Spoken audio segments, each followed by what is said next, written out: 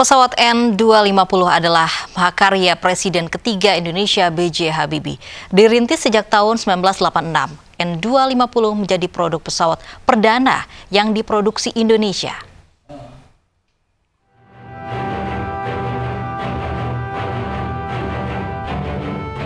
Inilah pesawat N250 mahakarya almarhum Presiden ketiga Indonesia B.J. Habibie Pesawat yang diberi nama Gatot Kaca ini menjadi tonggak sejarah pembuatan pesawat oleh anak bangsa.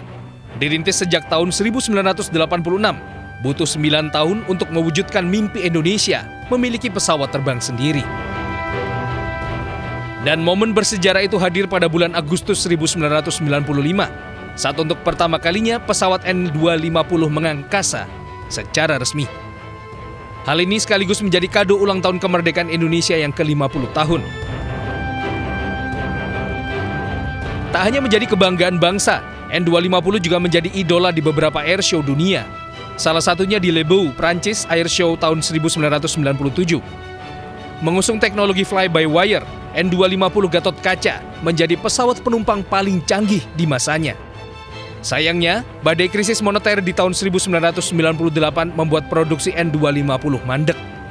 Gatot Kaca pun dirumahkan dan dilarang terbang. Dan sejak saat itu proyek nasional pesawat N250 tersisihkan dan terabaikan.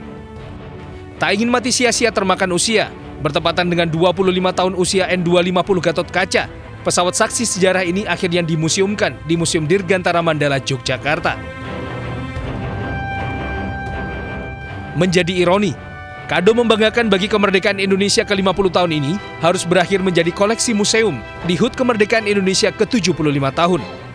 Bersamanya, cita-cita dan sejarah Dirgantara Indonesia terabadikan. Tim Liputan News melaporkan.